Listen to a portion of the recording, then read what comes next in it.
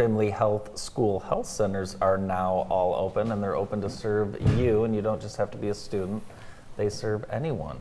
And uh, if you're feeling uh, stressed, need a physical, want to learn more about your health, or the reason most people go, if you're feeling sick, uh, all are welcome. Northwest Community Health Center, Jackson High, Northeast, and Parkside. The Center for Family Health has been opening the door to healthcare for all for more than 30 years. Chris Perondi's stunt dog experience is coming back to Jackson College. Uh, great show, perfect entertainment for the whole family. Kids love this. And after the show, uh, Chris and his team bring the dogs out into the lobby for Ooh. photo ops. Paw prints. Paw prints, yeah, autographed paw prints. Uh, they have merch. It's a really cool event. And they've got uh, special pricing for kids. In fact, everyone is special pricing. It's a good deal. Get your tickets now, and we will see you at Potter Center Sunday, April 23rd. Two shows, noon and 4 p.m. Well, we've talked about him and this company a lot over the last few months, and uh, here to join us on set is the owner of Professional Tree Care, Chad Fox. Good morning. Good morning. How are you guys? Doing really well. Yeah, Andy uh, raves about uh, all the things you've been able to do uh, at his yard, Wow. particularly the, after the storm. Well, I got to tell you this one thing.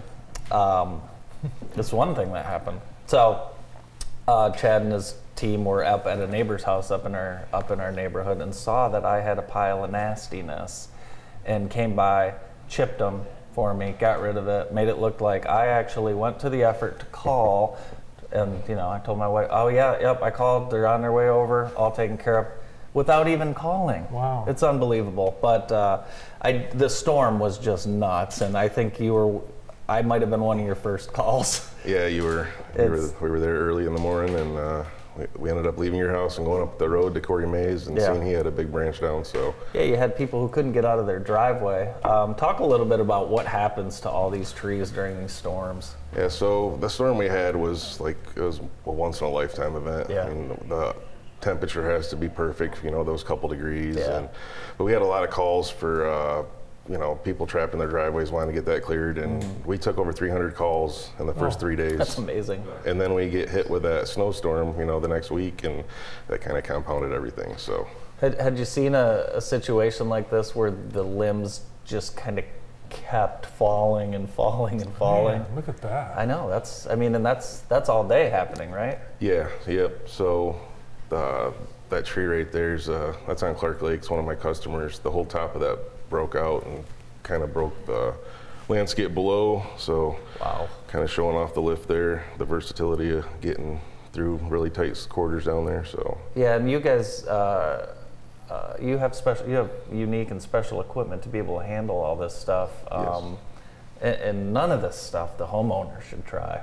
No, no, no. No, you see those videos. Oh, the guys with the two two people cutting down a, you know, a redwood, and then where does it fall? On top of them or the car or the house? It's Right. ridiculous. yeah, trees and uh, ladders don't mix. So. What is it about um, the time of year? Because uh, are the trees more brittle because they're uh, it's frozen or what? Yeah, so during that ice storm, that event, the trees, you know, they're they're a lot more brittle that you know with the with the ice on there. So you touch them with a chainsaw and they just explode. There's no Wow. there's no hinge there. So I had you guys out before winter to do kind of a uh, kind of your cleanup, maintenance, trimming. Um, I'm wondering what my property would have looked like had that not happened. You know, realize made me realize how important some of that stuff is, and and it's important to call you guys because you can get stuff that's cut, creeping toward the house already and Yep. um, prevent possible future damage. yep. So we we did visit a couple of customers that we did trim the past you know few months before Yeah. the storm, and they had very minimal Yeah.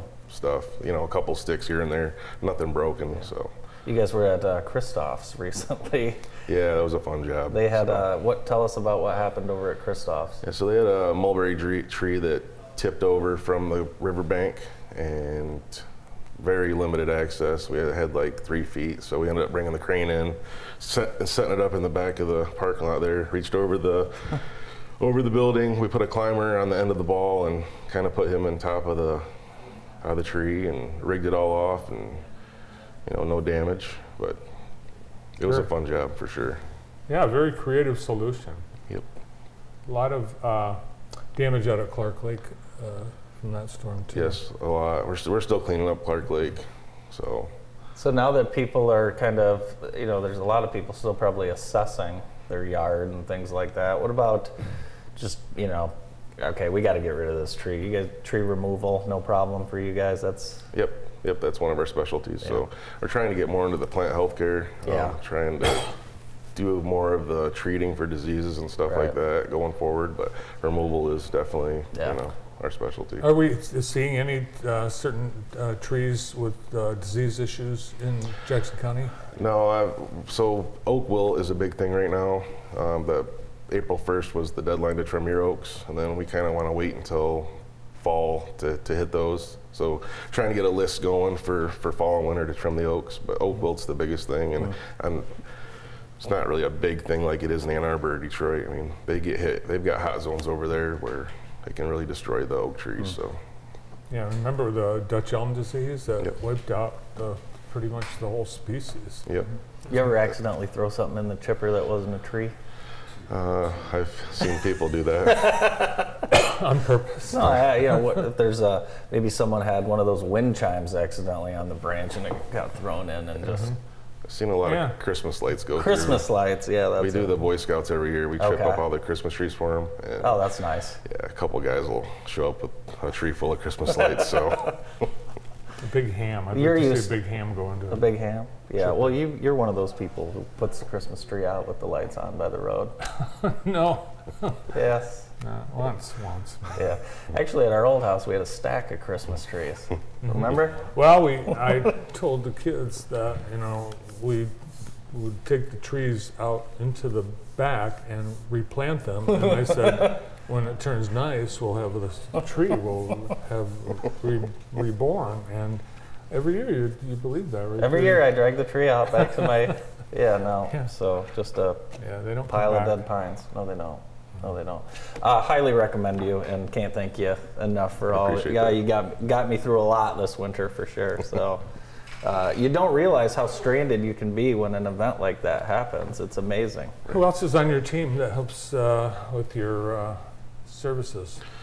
so I've got uh, Pat O'Dowd helps with my marketing on the side, and then my wife she uh, she takes all the phone calls. So if you call and get a quote, she's taking care of uh, the phone call and kind of getting things going for me. Yeah. And then uh, my dad worked for me for a long time doing estimates, but and then I've got a couple guys that have been with me for 15 years. so- Oh wow, that's Yep. great. Yep. Good team over at Professional Tree Care. Chad, thanks so much for being with us today. Thank you. Thanks for having me. Chad Fox from Professional Tree Care. More of the morning show right after this quick break.